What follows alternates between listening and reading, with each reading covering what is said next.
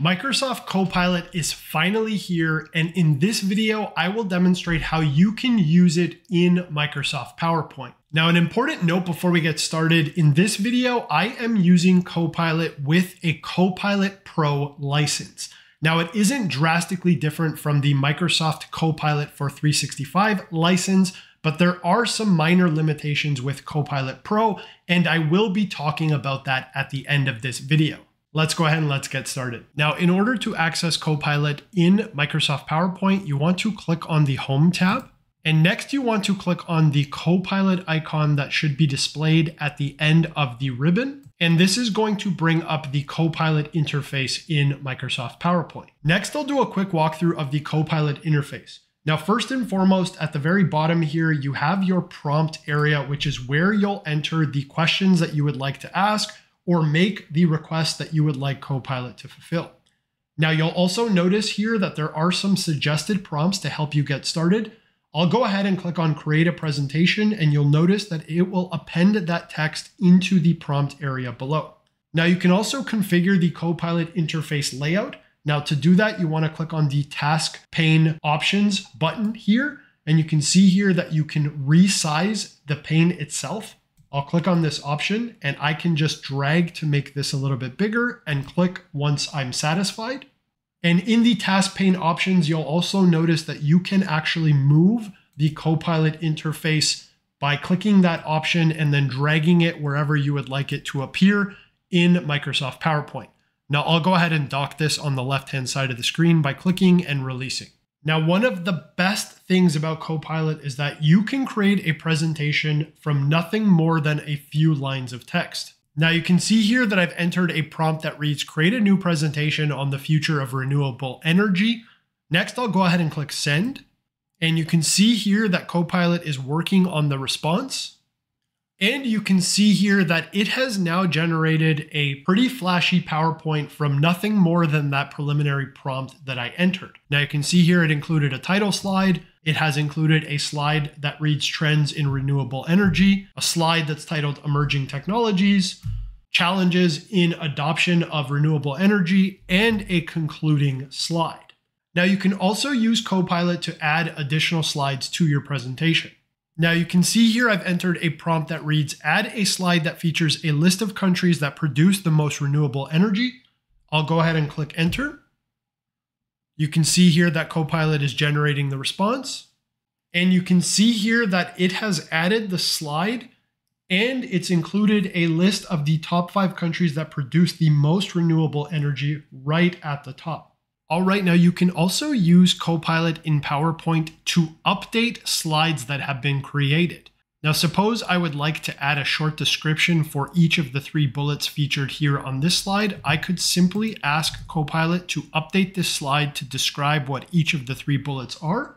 And you can see here that it added descriptions to each of those three bullets. Now, another way that you can use Copilot is to help you organize your presentation. Now what I'll do here is I will just throw these slides in a different order. I'll put the conclusion at the front and I'll mix them up. And you can see here that I've typed a prompt that reads, organize this presentation logically based on the content included. Next, I'll go ahead and click send. So you can see here that it grouped the slides into sections, starting with an agenda and then renewable energy and its future, and then challenges and conclusion and it also added some additional slides to illustrate that grouping. Now, one of the use cases that I was really excited about was having Copilot generate speaking notes for presentation slides. Now you can see here I've asked it to do that in this prompt. Next, I'll click send. And you can see here that it was not able to do that. Now, again, I'm not sure if this is a limitation of Microsoft Copilot Pro or if that feature just hasn't been released at this time. Now, another good use case for Copilot in PowerPoint is generating summaries of PowerPoint presentations. Now you can see here I've entered that prompt. Next, I'll go ahead and click send. And you can see here that it has provided me with a very succinct summary of the key messaging and the key information from this PowerPoint presentation. Now, what's really cool about these summaries is that it will even link back to the source content. Now, if I click on the drop down arrow to the right of the word references, you can see here that it has provided some links and I can go ahead and click on this and it's going to bring me into that reference slide so that I can drill down into the background information about this summarized point. Now there is another nifty feature in Copilot in PowerPoint and that is Copilot Lab. Now, in order to access Copilot Lab, you want to click on the View Prompt button and you want to click on View More Prompts. This is going to bring up Copilot Lab, which is a repository for prompts that you can use to work with Copilot in PowerPoint. Now you can see here that you can easily select one of these prompts, or you can drill down into the different categories, which include create, ask, edit, and understand. And what's even more useful is that you can actually access Copilot Lab on the web by clicking this button. And that is going to bring you into the Copilot Lab broader repository that's available on the web. And here you can actually view prompts by the different Microsoft 365 apps. Now, if I want to see suggested prompts for PowerPoint, I can select this and you can see here that the list has updated and I can easily save these prompts so that I can access them directly in Copilot in PowerPoint and use them in the future. All right, now if you're using Copilot in PowerPoint and you have a Microsoft 365 Enterprise or Business license, then you will also have the ability to create PowerPoint presentations from Word documents. Now, to do that, you want to open up your Word document and you want to generate a share link to that document. You can see here, I'm going to copy the link to this report. Now you can see here that I've typed create a presentation from this file. Next, you want to go ahead and paste your file in and then press enter. And Microsoft Copilot will leverage the content from your Word doc to actually put together a PowerPoint presentation.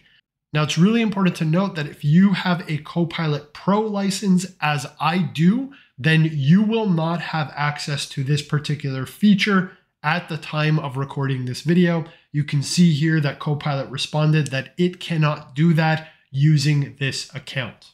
All right, now at the beginning of the video, I mentioned that I was using Microsoft Copilot with a Copilot Pro license. Now, the Copilot Pro license is targeted toward individuals who have a Microsoft 365 personal or family subscription. Copilot can be added onto one of those licenses and it allows you to use it in your personal context. Now, there are some limitations with Copilot Pro, and specifically, one of the big ones is that you cannot use Copilot when you have a Copilot Pro license in Microsoft Teams Personal. You can indeed use Copilot in PowerPoint, Word, Excel, and even with Microsoft OneNote. Now, that differs from Microsoft Copilot for 365, which is targeted towards small, medium, and large businesses. And those licenses allow you to use Copilot across all of the Microsoft 365 apps and services, including Microsoft Loop, Microsoft OneNote, Microsoft Whiteboard, and of course, Microsoft Teams. Now, if you weren't aware, Microsoft actually made Copilot available back in November 2023. And at that time, anyone that was interested in accessing Copilot had to commit to buying 300 licenses. In early 2024, Microsoft did away with that minimum, making Copilot accessible to anybody that wants to use it with no minimum purchase requirement. So that's it. In this video, I demonstrated how you can use Copilot in Microsoft PowerPoint. I hope you found this video helpful. If you did, be sure to subscribe to stay up to date on the latest tutorials that I publish and be sure to give this video a like. Also, if you found this video helpful, then you might also be interested in one of these tutorials. I'm Lui Iacobellis. I'll see you in the next video.